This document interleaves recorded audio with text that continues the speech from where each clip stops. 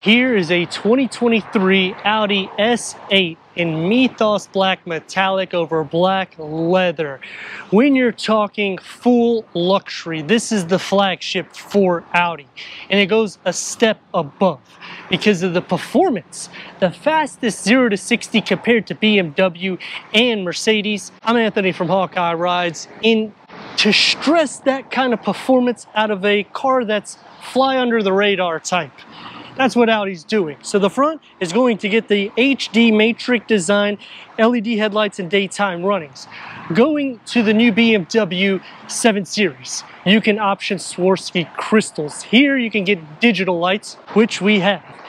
Black optic package, I would recommend this, especially if you're doing any color at all with Audi except for white, because that single frame grille is gonna get the gloss black inserts. It also blackens out the badge for the S8, so you don't have to pay extra premium to black out the badging. The lower gets gloss black elements also. Clearance is gonna be around four and a half inches, so it's pretty much spot on with Mercedes and BMW. And underneath the long hood houses a 4.0 liter TFSI V8 twin turbo producing 563 horsepower, 590 pound-feet of torque paired to an 8-speed Tiptronic automatic transmission, achieving 15 mpgs for the city and 23 mpgs for the highway.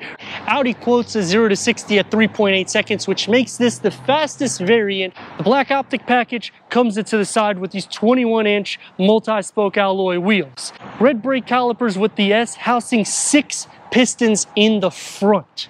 Why? Because the S8 weighs over 5,200 pounds. The Quattro system is heavy. This is also one of the longer variants. Standard rear axle steering, which helps with cornering and getting in and out of parking lots because it's a long vehicle. Light bar is coming into the rear. With sequential turn signals, Audi makes some of the best lighting in the business. Whenever you're comparing any vehicle to it, the rear of this is going to stand out against Mercedes and BMW. The lower gets quad exhaust tips with the chrome finish.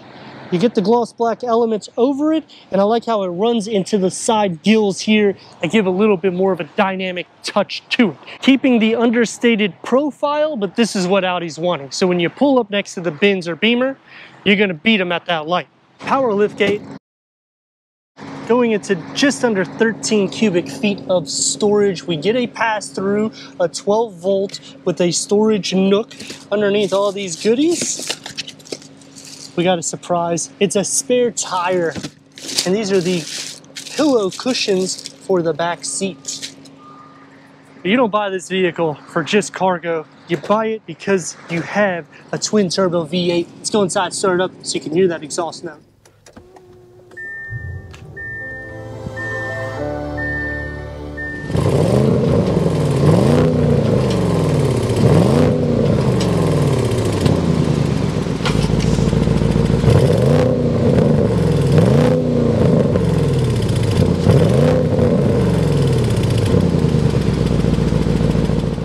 Soft closed doors is gonna start us off.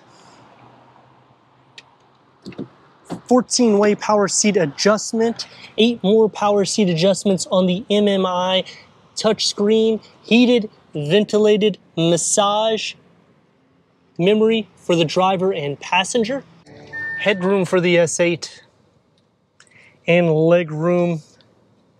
It's a longer vehicle, it's a deep footwell with stainless steel pedals. We have the comfort package, which includes the upgraded headliner with the ambient lighting, piano black elements, which will be on the door handles instead of the leather, and pretty much surrounding the whole vehicle. What I like about the S8 is it's not just luxury, but it's powerful. Just slide your finger here to close off the vent, slide it there to turn it off. When you turn off the air condition, look what happens. Closes up to a seamless dashboard. The upper part will be leather because of the Comfort Plus package. Heads up display, we're gonna turn that air condition back on because it's hot in the state of Florida. 10.1 MMI touchscreen with navigation, wireless Apple CarPlay, Android Auto, Sirius XM, AM, FM, streaming Bluetooth audio, Put it into reverse. We have top view camera, which is a 360 degree reverse camera, full trajectory. Click onto the 3D. You can scroll all around the vehicle and it's alive as you're noticing. Watch, even with the turn signal. It's pretty cool stuff. Click back here, click this, and then you have your million different camera angles so you can see any different imperfections. You can also click on the 3D on this and it'll go around instead of you doing it manually. Put it into park. We're going to take that off the screen. We're going to go into vehicle and here is how you will change for the seat settings. Slide it over. This is for the massage. This is for those eight different seat positions. Click back, go into Audi Drive Select, go into individual, click this, and you can make it as sport derived or as luxurious as you would like or just simply click dynamic. Going into an 8.8 .8 inch touchscreen with the dual climate control for the front, dual climate control in the rear, heated, ventilated, and the driver mode select on the fly. The key fob for the S8 is going to be a little bit more understated. So what I mean by that is I have an SQ right here. I like the S. They don't put the S when you get into the 8. We get a 12 volt. It's to be soft. It's pushed back. It opens up as a two-tier Audi wireless phone box, which extends your service signal and wirelessly charging your phone. Two USB ports, leather wrap steering wheel, multi-function, paddle shifts, and the stocks. 12.3 Audi virtual cockpit which can go through an array of information for the driver. You can change different layouts so you can make it more configurable than most vehicles. And it has the boomerang to make it more sporty, or you can make it more understated. The door panels integrate into the dash with the piano black. You're gonna have soft touch up top, open up, you get the quilted, and it's soft. You have a storage pocket right here for the driver, one touch up and down for all the windows. They're all dual pane. A smaller storage pocket, but because you have another one here, it's not a big deal. A moonroof with a moonroof for the back seat. Ambient lighting will be surrounding the whole cabin with auto dimming rear view mirror. For the back seat, it's like a limousine. Headroom is not going to be an issue, nor is legroom because it's almost an SUV size. We have storage beyond both of the front seats, the air vents with the same that you could turn them on or off by the push, two 12 volt chargers, the ambient lighting behind the back seats and on the roof with the piano black. Open this up so we can check ourselves out before we go to the office. Cup holders, dual climate control, heated seats. It's going to be soft to touch. It opens up to two more USBs and some storage. You can close this up so that way you can fit a third person, which we'll do that in a second. Air vents on the side, you can lower the sunshades on both sides. You can also open up the panel moonroofs on both sides. The door panel, double click to get out. We get the piano black, soft to touch with the quilted inlays, a storage pocket up top and on the lower trim that's about the same size as the front with the piano black that runs through. The floor is not completely flat. It's not necessarily designed for three to sit, but you can sit here. I don't think you're gonna be doing this because you're gonna be looking like a baby sucking your finger, but headroom isn't actually bad. If you put your feet down, you're going to have plenty of feet space, butt space as well because it's also a wide vehicle. So three occupants can sit, but if you want to be more luxurious, put this thing down and just relax. 563 horsepower and 590 pound-feet of torque, 0 to 63.8 seconds. To put these numbers in better idea for you, a Lamborghini Urus, I know that's an SUV, but everybody likes to talk about it, gets a 0 to 60 maybe 0.6 to 0.8 seconds quicker, 94 horsepower more. So when you're thinking, well, maybe it's not that much power, it's a lot of power. And it's very effortless, super quiet. That is one con right off the top. I can't hear the engine. And I would like to hear it, especially because I am in dynamic mode. The sound system is awesome. You can turn up the subwoofer to make it have more bass or more treble and it's pretty easy to do so whenever you're going into your entertainment and you're using the volume knob You just click onto the side instead of going into 15 different settings.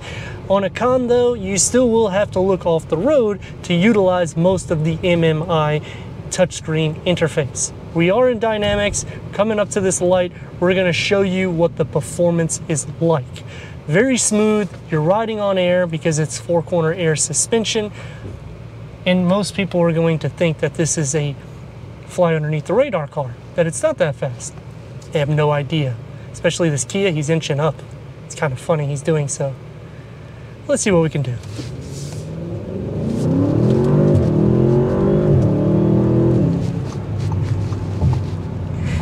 It becomes a dot pretty quick. And going in and out of lanes, it's very light. You don't have to do too much. Soft steering for your everyday drive, going to some more pros and cons. In the back seat, it's like a limousine. This one does not have all the options in which I did a review on prior that you have power seat adjustments, you have massage seats in the back, there's a little touch screen in the center which BMW cleans that up and puts it on the door panel whenever you're going into a higher end 7 Series. Standard rear axle steering, so it helps because it is a longer vehicle and it's over 5,200 pounds. Look at this thing.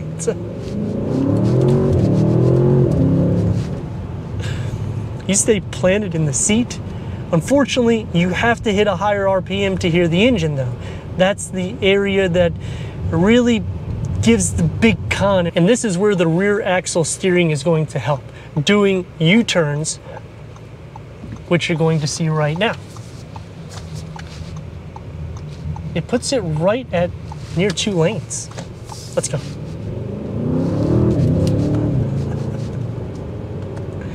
I decided to use the Tiptronic myself. So that way I would use the paddle shifters and I'm not going too crazy. I don't want to get a speeding ticket. I just want to have some fun with an S8.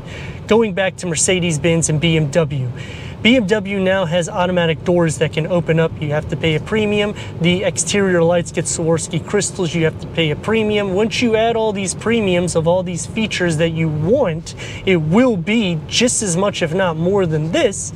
And yet you're still getting the same luxury and smooth ride. This is the most quiet amongst all of them. And Mercedes-Benz just did a refresh also, and they have a little bit more harder materials in which you can see the plastic. Here, it's very tech driven and yet elegant. It's one of those vehicles that, I mean, you can fit the family.